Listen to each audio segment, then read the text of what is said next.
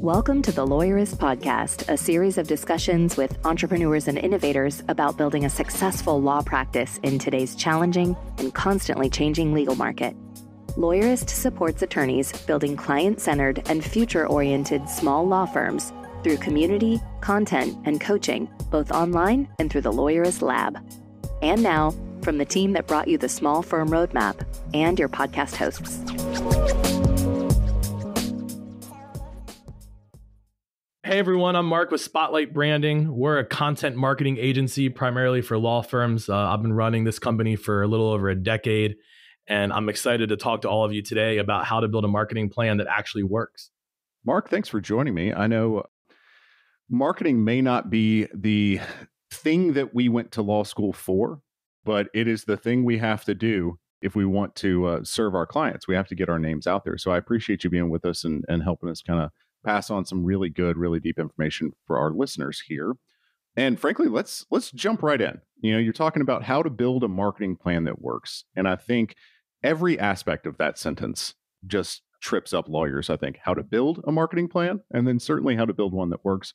But we're also going to get into how to build one that works and continues to work. Yep. So if I'm a lawyer starting to think about, you know, kind of getting my name out there, trying to get clients, trying to get the right clients, what do I need to do? Where do I need to start? Well, you know, I want to mention too on this idea of a marketing plan that works real quick that I understand. I think a lot of attorneys out there, they're tired of marketing that doesn't work. Mm-hmm. And so I, I want to kind of keep that theme as we're talking today. And, and certainly there's more to getting your marketing working than just a marketing plan, but we've kind mm-hmm. of prepared for this podcast today. And I, I think we've got four main kind of steps that I, I think are going to really increase everyone's chance of having a successful marketing plan.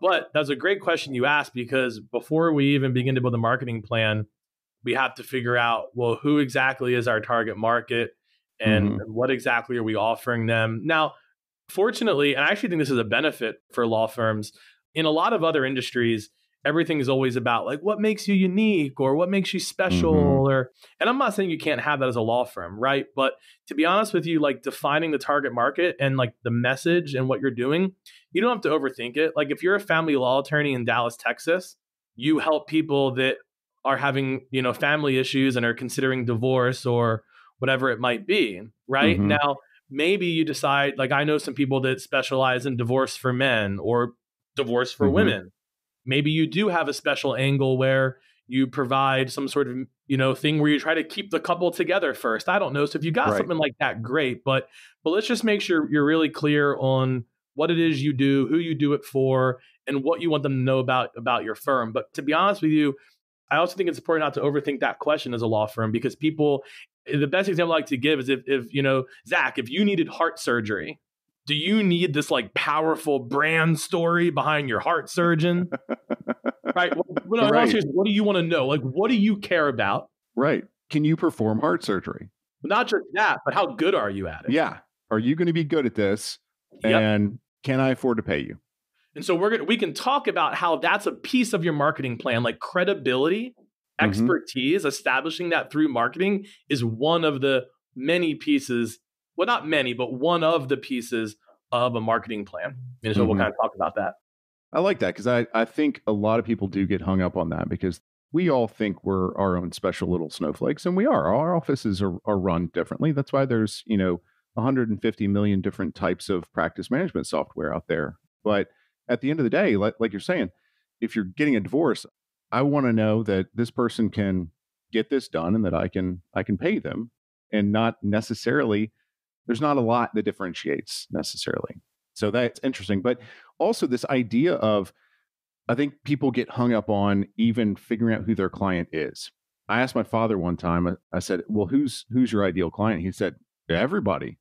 Yeah, there's that old adage that if, if you're targeting everyone, you're targeting no one. Yeah. And I get his point was anybody that comes in the door, we're going to try to see if we can help them. Sure. But we're talking marketing here, not people just walking in the door. Well, this is also a good segue into like our actual talking points today because I also think that like marketing gets overthought. Mm-hmm. If that mm-hmm. makes sense, like, mm-hmm. well, I mean, well, let's just kind of dive in, and, I, will explain what I'm, i mean if that's okay. Yeah. But like, yeah, yeah, like there are some very proven methods that law firms just need to be doing and doing well. Okay. My point is, and I'm going to kind of keep this thread going throughout our talk today too. You don't actually have to be like extremely creative or unique in the mark. We're talking about how you don't have to be unique in like your brand. You also don't have to mm-hmm. be extraordinarily unique in how you market either. If you are, it helps. But mm-hmm. I'm trying to be very specific in my language here. Like you don't need to be. Yeah. It's not yeah. like you should only go to a networking event if you have a really great, unique elevator pitch that's going to blow people away. It's not like you're like, oh, I know, like going to this bar event could be good. I could generate some referral sources, mm-hmm. but I just, I don't know what my brand message is, so I'm not going to go. Right? Like we don't, gotcha. like we don't say yeah. that, but you know, but you know where we do that sometimes is with like thinking about like running digital ads, like Google ads or something like that. Okay. Or if I'm going to do some like blogging or some social media, like, well, I got to figure out what my unique angle is going to be if I'm mm-hmm. going to if I'm going to be on social media. No, you don't. You just need to do those things and, and do them in the ways that are that are proven and and there's an element of showing up. So what I, I love to do here um is just a minute is kind of uh jump into those those few points. But do you kind of have any other thoughts before we jump in? You know, I, I think really just just that what you're saying that we as lawyers are, I think, scared of marketing for different reasons, you know, but I think certainly one of them is that many times we have this desire to be the best and special and different and we want to tell that really interesting story and we see these websites you know that are on like best law firm websites or we see other websites from you know our competitors and we think oh man i if i can't do that then i might as well not yeah, I just think that go ahead and do it. I mean, there, there are some fundamentals like what you're what you're talking about here. Yeah, I couldn't agree more. So let's kind of dive in because I was my hope in the next 15 20 minutes is that the listeners can walk away with some very clear guidance mm-hmm. on either how to build a marketing plan or how to modify their existing one i'm sure mm-hmm. we'll talk about some very specific marketing ideas during this but i want i want to go and let the audience know like my goal in its own purpose is not to give you like super specific marketing advice because the real the real win from today's episode is trying to create an evergreen plan, something that you can continue to update over time and just tweak and mm-hmm. modify. Mm-hmm. As where if I give you like a specific marketing idea that's working today, it might not in six months, right? So, so my hope is really to create right. that kind of evergreen thing. But here's step one. I've got four, but the okay. step one is you need to figure out your marketing categories. Hmm. So people might call these different things my my sources, my channels, my categories. You can kind of label these however you want, but I think there's like a solid five or six that should okay. always be there. And in no specific order, that's going to be referrals, mm-hmm. digital ads, so things like Google ads, like like pay per click. You're going to want like a events category, so any okay. events that you might put on or sponsor. And then I think I think networking for a law firm should be its own category. Some might put that in events, but you might mm-hmm. decide that events is like me speaking or sponsoring or putting on an event as where networking is it's like the bar associations I'm part of or the networking events I go to to trade business cards. So I could see those being two separate categories. And then a one that often I think gets missed out on is is kind of like this nurturing category, or I, I would kind of call it content slash mm. nurturing because content is is really going to be a nurturing strategy. Right. And there might be one or two other I'm forgetting that that'll that'll come as we're we're we're talking, but you know, you could have an other category that's, that's just kind of a catch-all for things. But here's why it's really important to come up with these categories. And then I want to hear if, if you're thinking of any that I missed or or mm-hmm. what you think. But number one, you want to be able to over time diversify your marketing. Okay. You want to be able to hopefully be generating your marketing in more than one place. It doesn't mean that if you're getting a lot of business through referrals, you don't want to grow that, but mm-hmm. there are other opportunities out there if your goal is to grow your firm. The other thing is, not all of these categories are measured the same way when it comes to success. Okay. And so I always make this comparison. If you have a financial portfolio, most of us understand the idea that there might be a long term investment and a short term investment. And I don't measure those portfolios the same way right? Okay. And so if you kind of look at these marketing categories like a marketing portfolio, not everything should be measured the same way, and we can kind of talk about that in a minute because I think that'll be helpful. But but diversification, measuring properly. And then, if nothing else, Zach, just being able to plan, like, let's create some categories to put things in because when you picture this on a piece of paper, it's a little bit easier to plan out when you kind of have some some groups that you can put things in, you know? Yeah, yeah. It's interesting that there's referral, events, networking in this kind of area because I talk to a lot of lawyers that say I don't need to do any marketing or I don't need to do any digital marketing or something like that. I get all my business through referrals. You are doing marketing. That's you just have it all in in one channel. Um, but but you are doing marketing. That's the thing is, or I put on CLEs or I go to events or something like that. Yeah, absolutely. That's marketing. Have it be part of your plan. Well, um, let's use that example because I think almost every lawyer out there is networking or at least did at some point to build their practice, right? So it's mm-hmm. a university applicable example.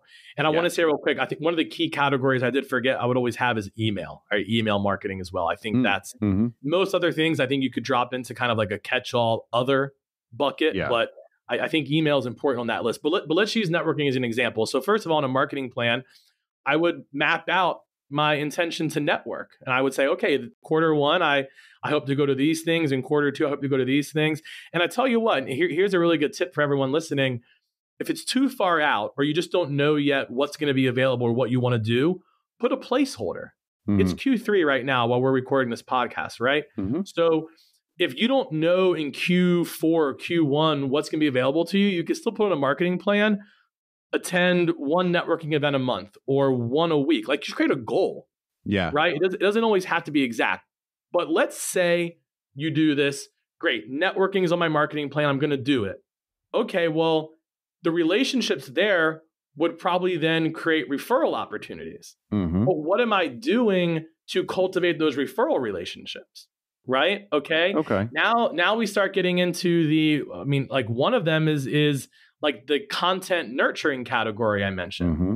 right? Okay, putting out putting out blogs, putting out social media, putting out an email newsletter, which you could put under email if you wanted to. Because the other thing, and this right. might drive people nuts if they're OCD, but let me preface this with I'm OCD too. But here's the good news: what you put in the categories isn't all that important. There are mm-hmm. going to be things where you're like, oh well, this could go here, it could go there it doesn't really matter. But the point is, when you look at like this nurturing category, like this content category, the question you're answering there is when I meet people at a networking event, what am I then doing mm-hmm. to continue to nurture that relationship? Is there, am I going to have lunch with people? Am I going to send people email newsletters? Am I going to have coffee with people? Am I going to send mm-hmm. Christmas cards? And if you want to do Christmas cards and you want to have a category called print marketing, do that. If you want to yeah. put Christmas cards in your referral category because you feel like that's about generating referrals, do that, right? So I just think that organization is helpful. And but the point is when you look at these categories, you go, okay, like when I go networking, I'm probably trying to surface strategic relationships. That's my mm-hmm. ROI, not how much money I made from networking. When right. I do my nurturing marketing, same thing. It's not about leads, it's about uh, moving people closer to either working with me or sending me a referral. Right now, mm-hmm. you know, digital ads, where we're actually talking about something like Facebook ads or Google ads, like pay per click. Yeah, you're going to judge those based on on leads, you know, mm-hmm. or if you want to have like or, like an SEO category, like an, or like an organic category, like people just kind of find you online. Great, have that category, but you're going to judge that category on leads, yeah. right? But you're going to judge networking and nurturing. You're going to assess those differently, and that's mm-hmm. why I mm-hmm. think those categories are important. Yeah, and, and, you would have different KPIs for for yeah each of those categories. Okay, so we so we've kind of gotten our categories, gotten an idea of, of the things that we want to do. What how do we plan for this? How do we how do we actually start? Yeah, so you know I would do this by quarter. Mm-hmm. And we've even got, I'll mention it a couple more times, we even got a template if anybody wants to use it. Mm-hmm. Just go to spotlightbranding.com slash lawyerist marketing plan. And we'll put that in the show notes as well. Yeah. Perfect. Perfect. We got a little template people can use and fill out. It's going to have some of these categories on it, mm-hmm. I think, as well as some like blank space to fill it in. Okay. But on that template, we're going to divide this up by quarter. So I think step one to planning, um, I'm sorry, step two is planning and projecting. That's yeah. step two. Step one is get your categories right. Step two is planning and projecting. Okay. The first thing you're going to want to do with planning and projecting is decide the period of time you want to plan for. I suggest quarterly and maybe trying to plan six months, nine months, maybe even 12 months at a time or four quarters at a time. Because remember what we said earlier, you can just put in placeholders, yeah. right? It's kind of what I'm hoping to do down the road. But you just start filling it in. And so if your listeners can kind of visualize this, imagine a chart, right? At the top of that chart, you have columns that are Q1, Q2, Q3, Q4. Mm-hmm. And on the side, you have rows that are just your categories.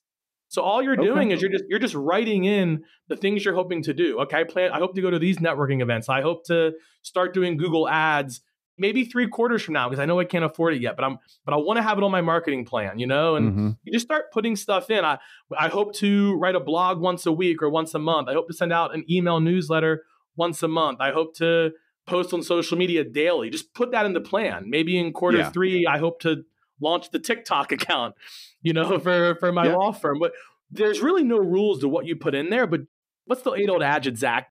Failing to plan is planning to fail. Yes. Yeah. So just put stuff in, you know? Well, so specifically, this this isn't your content marketing calendar. You don't have to have everything in in pen and shaded really nicely and you know very very specific. But it's what do you want to do?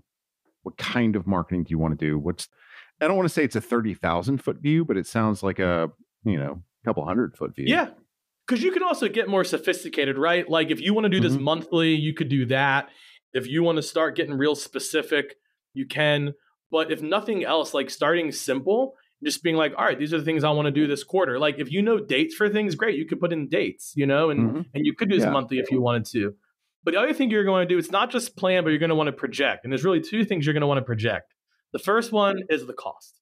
Yeah. All right. You're going to want to you're going to want to project your cost because you want to have a marketing budget, right? And I understand a lot of listeners out there, especially if you're a solo, you might not have a big marketing budget. Like that's fine, but I don't care if the percentage is 3%, 5. Mm-hmm. percent Hopefully it's more like 10% eventually of your revenue goes to marketing, but just kind of come up with a number and if you don't have a lot of money, you're going to trade time, and, and that's okay too. I mean, some of you even yeah. might benefit from the mental exercise of putting the time commitment down. Like, I, you know, okay, so for networking, I'm almost budgeting 10 hours a month to put into that because right now I don't have $5,000 to put into mm-hmm. Google Ads. So, to some capacity, budget, mm-hmm. whether it's time, money, or both, and just put that right there in the quarter for the category and then, you know, at the top or the bottom, and we'll have this on our template, but you just total it up. So now you've okay. actually got yourself a marketing budget each quarter. Okay. Even if you're just penciling stuff in. And then the other part, and Zach, here's the part that almost no one does. It probably deserved to be its own point. No one projects the results. Mm, like I, okay. I always love this conversation of like, well, how do you know if your marketing's working or not? And the way I always answered is, well, what was it supposed to do? Okay. What was it supposed to do? And here, here's the best part. If you don't know, just guess. So let's pick a couple quick examples. So if, you, if, if we're talking about networking, right? Um, maybe you have a goal of getting a certain number of business cards from every networking event you go to. Great, write that down. Mm. And then for the quarter, you know, maybe you had such success at your first few networking events that you could skip that last one because you kind of set like a target, right? Now, certainly if we're talking about like Google Ads or something like that, yeah, you you probably want to have a real clear. Yeah. If I'm spending a thousand dollars a month, I expect this number of leads or this number of clients. So you can choose what that projection is. Like, are you projecting leads? Are you projecting clients and engagements? But again, for some categories like your nurturing or your content, you're not going to really project leads from that because that stuff's not generating leads, right? It's, it's more helping you stay in touch with your with your network you know, but referrals is a good one. Like how many, ref- okay, yeah. here are your referral activities, but how many referrals are you hoping to, to generate, right? So even if you're guessing, just write down what you hope that marketing accomplishes because and you know we'll, we'll, we'll, i don't want to jump ahead too much but we'll talk about in a second but the reason that's really key is number one to make sure you have enough marketing in place like how do i know if i have enough marketing well write it down and guess what you think is going to happen but the second thing is when mm. you're monitoring that marketing your projections are one of the ways you kind of know if it's working or not. And if it's not working, maybe it means your projections were just off, and that's fine. You can adjust your projections, but maybe your projections were good. And at least now, when you mm-hmm. say to yourself, why isn't my marketing working? You know what's not working. Like you actually know what the contributor is to the problem. instead of just knowing that overall it's not working, right? Mm-hmm. Well, and I think more commonly, oh, well, I, I hope more commonly, I guess, is that you're getting clients, you're getting enough clients, but are you spending too much money to get those clients? Like you're getting clients, you're spending less money than they're bringing in. Sure, great, awesome. But if we're actually planning and projecting, and then kind of this next step, again, I won't get to it, but if we're thinking about those things, then we can say, okay, well, this isn't not working, but this is working better. Yes, and you can then you can reallocate time or money to those things. Mm-hmm. You know, and look, I want to tell people. I, I, I, mean, I don't know if I'm throwing Spotlight Branding under the bus here or not, because we're a marketing agency. But the on the marketing we do for ourselves, you better believe that we're guessing sometimes at the right. result if it's something we haven't done a lot of. Mm-hmm. If we're going to an event for the first time, all right, like we just went to the ABA Tech Show this past year. We'd never been before. Okay, it was always mm-hmm. a very mm-hmm. expensive conference to go to. Yeah, it is. It is. We had to guess. We had to guess how many yeah. leads we thought we were going to get, how many clients we thought. No, no, we had some facts like what the attendance was going to be and things like that, but we just guessed, and that's okay right. because what I tell my team is, it's not about whether or not you get your guesses right. It's just about the exercise of being like, I think this is what this is going to do, and then you can look back and say, okay, is it doing that or not, and then you can adjust either your projections or you can potentially adjust the actual marketing you're doing and doing other things you know and that mm-hmm. and that really leads us to step three which is monitor and optimize. So now that you've planned your marketing and projected it now you can monitor and optimize. And all you need to do this is a really simple marketing check-in. You could do this once a week twice a month. It's just sitting down looking at that marketing plan and going okay the things that are active right now how are those going? Okay. How are those going and that's probably brand we talk a lot about traction. This idea of like, let's just have traction. We don't always know the answers, mm-hmm. but if something's not working, let's at least know it's not working so we can try something. Yeah. You know, and zooming back out this idea of like, how do you create a marketing plan that works? This is one of the key parts. If you plan and then you monitor, then you can see what's working and what's not. And in real time, you can try things, even if you don't have all the answers, you, you can just try things. Yeah. Or you can talk to people that maybe are doing who have the answers and, and and try those things. But part of how a marketing plan works is that you keep working it. Yeah, it, you know, honestly, I I want to kind of juxtapose that to a marketing plan that doesn't work. Quite honestly, uh, one that doesn't exist, and that's that's exactly right. It's it's one that doesn't exist, and what that looks like in reality is a lawyer going, "We need to do Google Ads." A lawyer comes into the office, they look at their assistant or they look at somebody who does things for them and they say, We need to do Google Ads. Let's go start doing Google Ads. And then they just do it. And that's it. And they just do it. Or they they go hire somebody that is just going to do, you know, pay per click. And that's it. They don't do any of this planning. They don't figure out their categories, you know, they don't plan, they don't project, and they're certainly not monitoring and they're absolutely not optimizing. So the other side of this is that you just kind of go in willy nilly and you're just throwing money at the wall. Yeah, and I want to. I don't. I don't know what everyone's feeling out there listening right now, but if you're feeling like this sounds like a lot of work, I think maybe we should speak to that real quick because I think mm-hmm. that this can be much more efficient than it may sound. The first time you do this is going to take the longest. But to be honest with you, I think you can knock it out in a couple hours if you're fast yeah. about it. Best case, if you can block out a half day or even a day, great. Like you're, you're just filling this in, but you you realistically could fill in some stuff real quick in an hour or two because this is a this is a a living document, right? Like it's it's like you're going to constantly like I mentioned that Spotlight branding plans out a year at a time. 90 mm-hmm. percent of that is penciled in. Yeah. It's constantly changing throughout the quarter, not just for the present quarter but the next one. Mm-hmm. But we have stuff penciled in, so we kind of have something to reference. So creating it the first time is really easy. Then you just need some sort of marketing meeting. You should be having this anyway, even if it's just 20 minutes once a week or an hour every two weeks. And your agenda for that meeting is reviewing the marketing plan. What are we doing right now? What's mm-hmm. coming up that we need to plan for? And what did we do that's finished that we maybe can look back at and say, how did it go? You know? Mm-hmm. And then, mm-hmm. okay, what what needs to be different? What do we need to try? Is there anything we want to add to the marketing plan? You know, which is really, by the way, I mean, That's it, because step four is keeping it up to date. And so you can okay. use that same marketing meeting to keep it up to date. Now, like at Spotlight Branding, at the end of every quarter, we also do take some time to kind of reevaluate the plan as a whole. So you could also add right. a kind of a bigger meeting like that once a quarter. Mm-hmm. But if you're honestly just meeting with this, you know, a couple times a month and keeping it up to date, and then at the end of the quarter, you just tack on another quarter. So you always have that rolling year.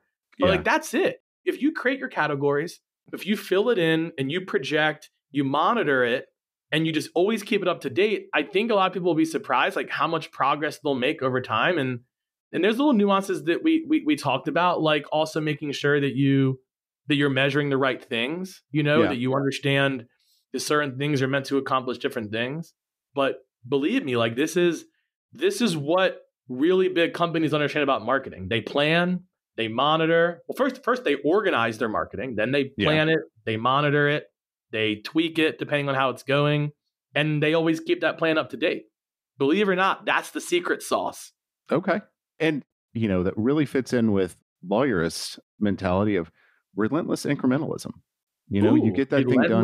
Incrementalism. You get that thing done once, and then you just like that monitor, optimize, tweak, monitor, optimize, tweak, and all of a sudden you've got this beautiful marketing plan that I mean, technically, it took you a year to put everything together and to make it exactly what what you want it to be. But you've also had it working for a year while you're doing that too. You know, and and so yeah, you have the three hours that you spent making it the first time, and then every other time is it's a quarter of that because you're doing a quarter instead of all of it. Yeah. Yep. And if you if you want to look pretty and all of that, I, I you know I I think my team's actually working on the template right now. So I mean, hopefully they make it you know pretty looking and all of that. But I mean, again, that'll be at spotlightbranding.com slash lawyerist marketing plan. It's completely free. There's no strings. So if you guys just want a template that highlights some of this and we're gonna we're gonna have some sections on it for like projections and things like that we're gonna keep it really mm-hmm. simple but a lot of things we talked about are gonna be on there and there's actually one bonus tip i want to give real quick zach if i can and i think yeah. we're gonna put this on the template as well the bonus tip is you can also use your marketing plan to identify like goals or initiatives or mm. themes mm-hmm. so one of your things you might say you know what in quarter one I really want to try to get more business clients. Maybe you do estate right. planning and you're like, you know, I want to start doing more estate planning for business owners. Great. You can kind of put that as an overarching theme. It doesn't mm-hmm. necessarily go inside one of the categories. It's kind of like an overarching theme for like a quarter or for a right. year. But then you look at your marketing plan and go, okay, how could how does this theme infuse what I'm doing that quarter? Right. Should we tweak the ads? Should I tweak my elevator pitch when I'm networking?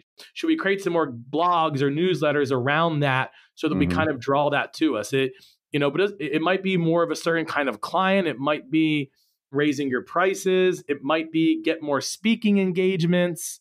Yeah. But you can identify these themes and these goals that are kind of on a macro level, and you can also write those down. And it's just uh, we can't understate it, but the power of writing something down is, is you know is really important. You're right. You're right. And one of the easiest ways that listeners of the podcast can go, you know, get this started of writing it down is just to go grab that marketing template. They'll definitely get, at the very least, ideas of how to make this work. And it's at spotlightbranding.com slash lawyerist marketing plan. Yeah, no spaces or anything. the whole thing. Well, Marc, I really appreciate your insight here. And I like the small steps, you know, forward, but really it's kind of categorizing, planning and projecting, monitoring, and then keeping this thing up to date. And it really is that simple. So I, I appreciate you sharing all that information with our audience. Yeah, happy to be here. And I hope everyone found the information helpful. And whether you use the template or you create this in a Google Doc yourself or even on a napkin, I hope you give it a try and and uh, please let us know, right? Comments on the podcast or social, wherever. Let us know how it goes, right? That makes us feel good. Absolutely. Well, and I want to do one last small plug for spotlightbranding.com just in general, because you guys have a lot of educational material on the website. So if people just want to go and learn more, they can always go just to spotlightbranding.com and get a lot of really good information there. So, Marc, again, thank you for being with me. I, I always appreciate it.